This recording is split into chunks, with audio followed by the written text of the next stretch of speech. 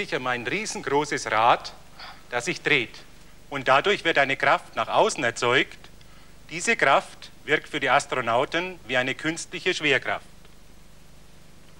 Liebe Zuschauer, wir begrüßen Sie zu unserer heutigen Physikübung. In der heutigen Sendung geht es um Drehbewegungen und Kreisbewegungen. Auf der Erde und im Weltall. Ferner um die dabei wirkenden Kräfte. Zum Beispiel die Zentripetalkraft und die Zentrifugalkraft. Die Gravitationskraft wird auch behandelt. Und außerdem beschäftigen wir uns mit Schwerelosigkeit. Dazu wollen wir zuerst ein weit verbreitetes Vorurteil ausräumen, nämlich dass Schwerelosigkeit nur im Weltall möglich wäre. Streng genommen findet Schwerelosigkeit nirgends statt, denn dazu müsste eine Masse ja unendlich weit von allen anderen Massen entfernt sein. Betrachten wir zum Beispiel den Flug des Shuttles. Das Raumschiff fliegt in 300 Kilometer Höhe. Die Schwerkraft dort beträgt etwa 91 Prozent der Schwerkraft an der Erdoberfläche. Mit dem Begriff Schwerelosigkeit bezeichnet man üblicherweise einen scheinbaren Eindruck, der immer dann auftritt, wenn eine tatsächlich vorhandene Schwerkraft subjektiv nicht mehr fühlbar ist. An dieser Stelle ist es üblich, dass man sagt, die tatsächlich wirkende Gravitationskraft wird durch eine zweite Kraft, nämlich die Zentrifugalkraft, ausbalanciert. Mit dieser Sprechweise wechselt man automatisch das Bezugssystem.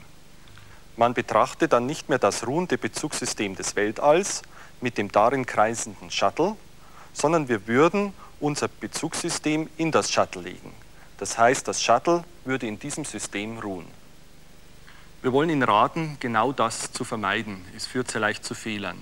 Sie verwenden dann nämlich ein beschleunigtes Bezugssystem, in dem zusätzliche Kräfte, sogenannte Scheinkräfte wie die Zentrifugalkraft auftreten, die es in einem runden System nicht gibt. Ich will Ihnen das einmal ganz drastisch vor Augen führen. Betrachten wir wieder unsere Grafik mit dem Kräftegleichgewicht. Für einen Beobachter im Shuttle ist das Ganze noch richtig aber von der Erde aus gesehen wird es falsch. Wir haben doch gelernt, dass sich ein kräftefreier Körper geradlinig bewegt und nicht auf einer Kreisbahn. Also ein Widerspruch. Sie sehen, die Verwendung von beschleunigten Bezugssystemen erfordert ein tieferes Verständnis.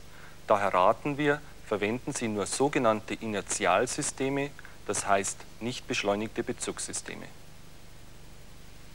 Vom runden Weltall aus gesehen erfordert die Kreisbahn des Shuttle eine dauernd nach innen gerichtete Kraft, die die Krümmung bewirkt.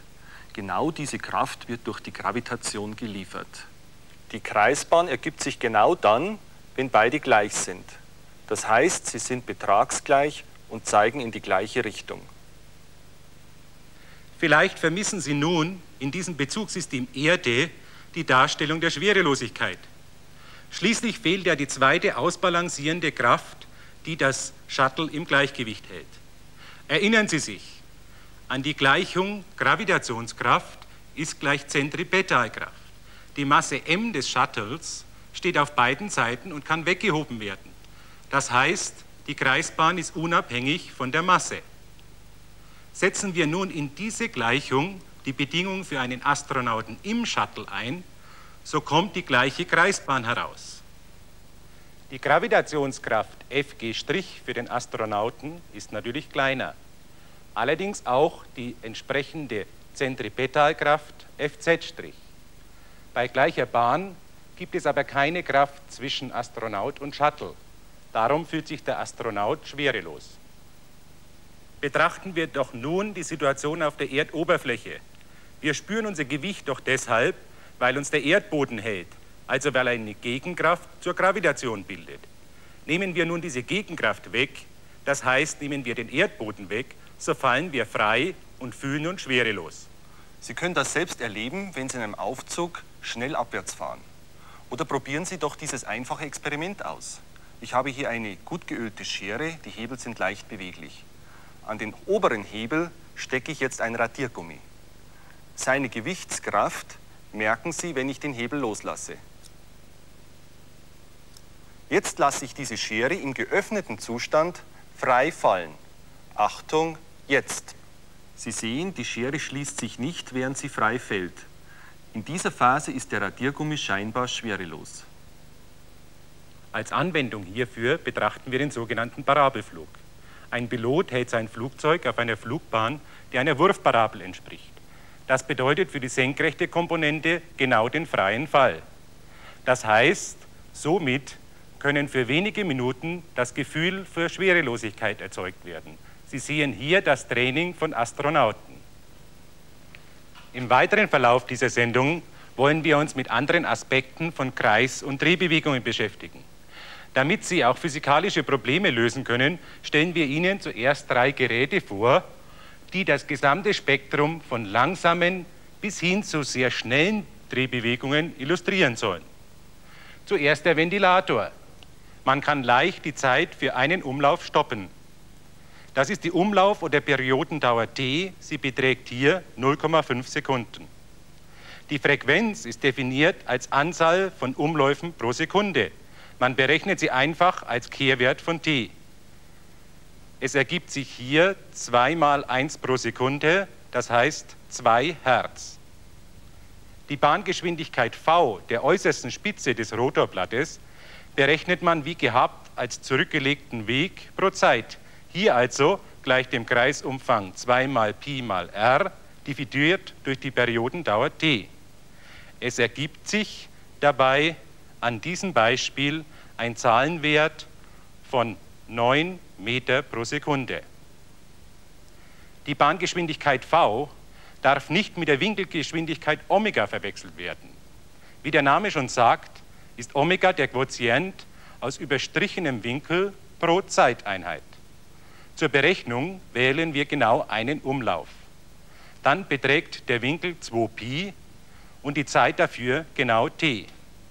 Setzen wir ein, so bekommen wir 13 mal 1 pro Sekunde.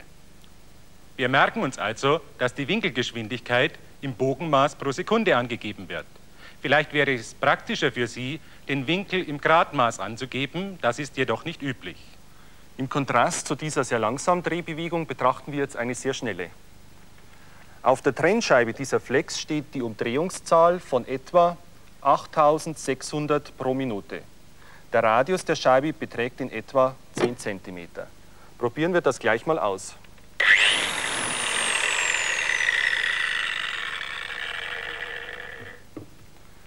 Man kann die Umdrehungszahl sehr leicht in eine Frequenz umrechnen, also in Umdrehungen pro Sekunde. Dazu muss man lediglich von Minuten in Sekunden umrechnen, also U durch 60 teilen. Das ergibt hier grob den dreifachen Wert unserer Wechselstromfrequenz von 50 Hertz. Die anderen Größen, Periodendauer t, Bahngeschwindigkeit v und Winkelgeschwindigkeit Omega, können Sie zur Übung selbst ausrechnen. Das Ergebnis für Omega wollen wir anschaulich verdeutlichen. Die Zahl 900 pro Sekunde bedeutet einen überstrichenen Winkel von ca. 300 mal Pi in einer Sekunde. Im Vergleich zu dieser Flex dreht eine Waschmaschine relativ langsam. Aber 1000 Umdrehungen pro Minute ist dennoch ein beeindruckender Wert. Daraus erhält man eine Winkelgeschwindigkeit Omega von 105 mal 1 pro Sekunde. Wir wollen uns hier einmal für die Zentripetalbeschleunigung A interessieren, mit der die feuchte Wäsche auf eine Kreisbahn gezwungen wird. A ist gleich Omega Quadrat mal R. Eingesetzt erhalten wir damit einen Wert von etwa 2200 Meter pro Sekunde Quadrat. Stellen Sie sich einmal vor, dass die Wäsche beim Schleudern die 220-fache Erdbeschleunigung erfährt. Das ist weit mehr als die menschliche Belastungsgrenze. Kehren wir zurück zu Planetenbahnen. Wir haben uns schon mit den notwendigen Bedingungen für eine Kreisbahn beschäftigt. Nun betrachten wir für die Bewegung des Mondes um die Erde einen zusätzlichen Effekt, den Sie alle gut kennen. Ich meine das Phänomen Ebbe und Flut. Wie sieht die genaue Erklärung aus? Vielleicht hängt es damit zusammen, dass die Seite der Erde, die dem Mond zugewandt ist, eine etwas stärkere Anziehung erfährt als die abgewandte. Die Erde dreht sich in 24 Stunden einmal um ihre Achse, damit müsste an jedem Ort einmal am Tag ein Flutberg auftauchen. Aber bekanntlich beträgt die Periode von Ebbe und Flut zwölf Stunden. Dazu bräuchten wir zwei Flutberge, einen an der Mond zugewandten Seite und einen an der gegenüberliegenden. Dieses Modell hier beschreibt die Bewegung. Der Abstand zwischen Mond und Erde ist verkürzt dargestellt. Beginnen wir zuerst mit der Tatsache, dass sich der Mond nicht um den Erdmittelpunkt dreht, sondern dass sich beide um den gemeinsamen Schwerpunkt drehen. Berechnet man diesen Schwerpunkt aus Mondmasse, Erdmasse und Abstand zwischen Mond und Erde, so bekommen wir als Ergebnis, dass er gerade 72 Prozent des Erdradius beträgt. Betrachten wir nun den Umlauf von einem Monat, das heißt von 27 Tagen, und schalten dabei die Eigendrehung der Erde ab. Die sorgt ja nur dafür, dass der Effekt an jedem Punkt der Erde gespürt wird. Wir interessieren uns dabei nur für die Bewegung der Erde. Sie sehen, dass der Schwerpunkt, um den sich die Erde dreht, nur im Weltall fixiert ist. Innerhalb der Erde beschreibt er einen Kreis. Außerdem bemerken Sie, dass sich die Orientierung der Erde nicht ändert. Jedes Land und jeder Ort hat an jedem Abend sein gewohntes Sternbild. Jetzt interessiere ich mich für die Bahn, die, die einige Punkte der Erde bei einem Umlauf beschreiben. Dazu befestige ich an einigen Stellen Farbstifte und mein Kollege legt oben auf eine Plexiglasplatte.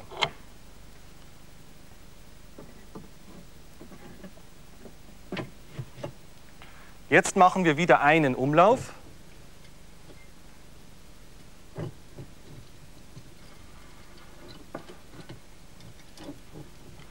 Und Sie sehen das ungewohnte Ergebnis. Alle Punkte der Erde beschreiben einen Kreis und alle Kreise haben genau den gleichen Radius. Das liegt daran, weil sich bei einem Umlauf die Erde nicht um ihre eigene Achse gedreht hat. Und dafür gibt es auch physikalisch gar keinen Grund, denn die Eigendrehung der Erde ist völlig unabhängig vom Mondumlauf. Die Konsequenz aus dieser Tatsache sehen wir uns an einer Grafik an. Betrachten wir hierfür wieder die Erde und den Mond von oben gesehen. Der Mond liegt jetzt rechts neben dem Blatt. Der Schwerpunkt und Erdmittelpunkt ist eingezeichnet. Damit nun der Erdmittelpunkt einen Kreis um den Schwerpunkt macht, muss die dafür nötige Zentripetalbeschleunigung AZ genauso groß sein wie die Beschleunigung, die von der Gravitation des Mondes herrührt. Ich nenne sie AG.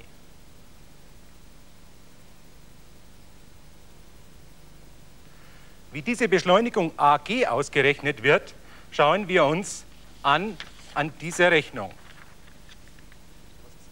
Die Gravitationskraft Fg, die vom Mond herrührt, ist ja Gamma mal Masse der Erde, Masse Mond durch den Abstand zum Quadrat. Und diese bedeutet ja, die, dass die Masse der Erde mit einer bestimmten Beschleunigung beschleunigt wird. So können wir die Beschleunigung ag ausrechnen. Die Masse der Erde kürzt sich heraus. Wenn wir die Werte einsetzen, kommen wir auf einen Wert von 3 mal 10 hoch minus 6 mal der Erdbeschleunigung. Das ist ein sehr, sehr kleiner Wert. Und es ist eigentlich verwunderlich, dass diese kleine Beschleunigung das deutlich sichtbare Phänomen Ebbe und Flut erzeugt. Wie passiert das? Wir hatten ja gesehen, dass wir überall gleiche Kreise hatten bei unserem Modell. Das heißt, dass die Beschleunigung AZ überall die gleiche ist. So ist sie also auch hier auf der Seite dem Mond zugewendet, genauso groß wie hier hinten dem Mond abgewendet.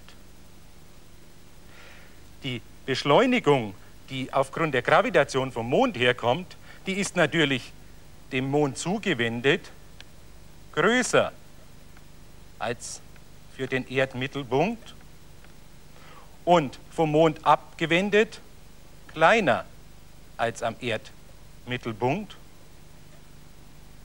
Und Sie sehen, es bleibt resultierend eine Beschleunigung zum Mond von der Erde weg hier. Das heißt, wir bekommen hier einen Flutberg. Und auch auf der anderen Seite bekommen wir eine Beschleunigungsdifferenz, die nach außen wirkt, von der Erde her gesehen. Also bekommen wir auch hier einen Flutberg. Jetzt nehmen wir die Eigendrehung der Erde wieder hinzu. Das heißt, von der Erde aus gesehen wandern die zwei Flutberge um die Erdoberfläche. Und damit haben wir die Periode für die Flutberge von zwölf Stunden und dazwischen ist immer Ebbe.